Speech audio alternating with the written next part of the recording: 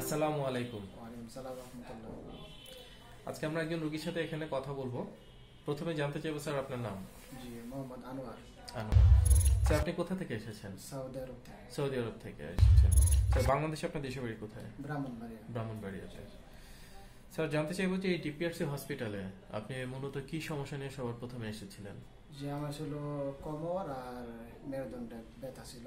ব্যথা ছিল। হ্যাঁ। আচ্ছা এই সমস্যাটা আপনি কত বছর যাবত ভুগছিলেন? দুই হাজার ষোলো সাল থেকে। দুই হাজার ষোলো থেকে এই সমস্যাটা ভুগছেন? জি। আচ্ছা স্যার এই সমস্যাটার কারণে আপনার প্রাথমিক জীবনে কি ধরনের সমস্যার সম্মুখীন হতে যে অনেকে আমার কাজের সমস্যা হতো অনেকক্ষণ আপনার এই যে বসে দেখা যেত না তখন ব্যথাটা উঠতো অনেক। আচ্ছা মানে বসে কাজ করতে গেলেই তখন আপনার এই সমস্যাটা শুরু হতো।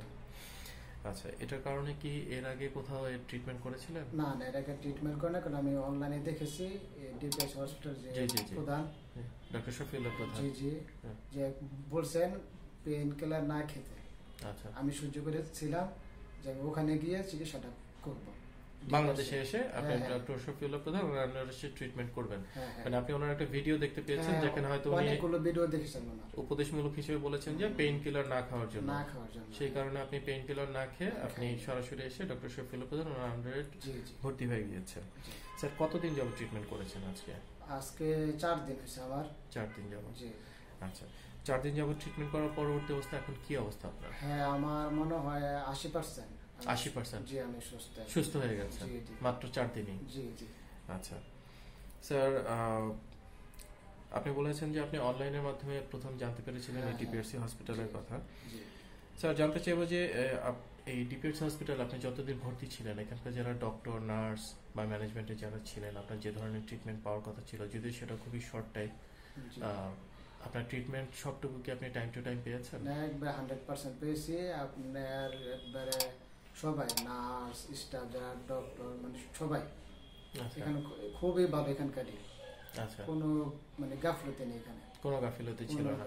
এবং তাদের নিবিড় পর্যালোচনা এবং তাদের চেষ্টার কারণে এবং আন্তরিকতার কারণে আজকে আপনি সম্পূর্ণভাবে সুস্থ হয়ে গেছেন। রহমতে আমি আচ্ছা। স্যার একটু জানতে চাইব যে ডিপিআরসি হসপিটালের পরিবেশ সম্পর্কে যদি একটু জানতে চাই কেমন লেগেছে খুব ভালো লেগেছে হ্যাঁ, আপনার অনেক ভালো পরিবেশ। আচ্ছা।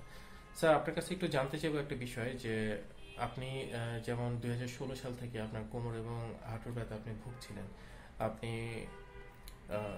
ডিপিআরসি হসপিটালে এসে আপনি অনেকটুকু সুস্থ হয়েছেন। হ্যাঁ। বাট আপনার মতো এরকম অনেক রোগী আমাদের দেশে এবং দেশের বাইরে ছড়িয়ে ছিটিয়ে আছে। হ্যাঁ। যারা হয়তো এই ধরনের সমস্যাগুলোতে তারা ভুগছেন কিন্তু কার কাছে গেলে তাদের ভালো হবে তারা হয়তো জানেন না। হ্যাঁ, অনেক আছেন যে আপনার বিভিন্ন ধরনের ভুয়া চিকিৎসকের খপ্পরে পড়ে তাদের সর্বস্ব শেষ হয়ে যায়। অনেকে পঙ্গুত্ব বরণ হুম। অনেকে এই ভয়েও ডক্টরের কাছে যায় না তো আমাদের সেই সকল ভাই বোনদের উদ্দেশ্যে কিছু বলবেন না আমি বলব যদি আপনাদের এই ধরনের সমস্যা হয়ে থাকে তাহলে আপনি অন্যদিকে না গিয়ে এই ডিপিআরসি হসপিটালে আসুন ইনশাল্লাহ এখানকার চিকিৎসা খুবই ভালো কারণ আপনি নিজে এখানে ট্রিটমেন্ট করে ভালো আছেন সুস্থ হয়েছেন হ্যাঁ। সেটার জন্য আপনারও একটা বিশ্বাস যে ওনারাও অবশ্যই ভালো হবে। স্যার সবশেষে জানতে চাইব এই ডিপিআরসি হসপিটাল থেকে আপনি যে সেবা পেয়েছেন এই সেবার মানকে আপনি একশোতে কত নাম্বার দিবেন? একসাথে আমি নব্বই দেবো। নব্বই দিবেন। জি। স্যার আপনাকে বিডি টুডের পক্ষ থেকে অসংখ্য ধন্যবাদ। আপনার মূল্যবান সময় এবং মতামত আমাদেরকে সহযোগিতা করার জন্য। আসসালামু আলাইকুম। ওয়ালাইকুম আপনাকে ধন্যবাদ।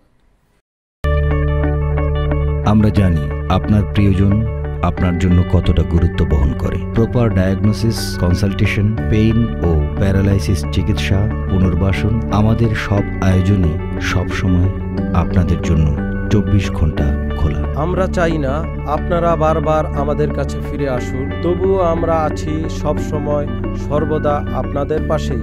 ডিপিআরসি হসপিটাল লিমিটেড আস্থা বিশ্বাস ও নির্ভরতায় অবিচল।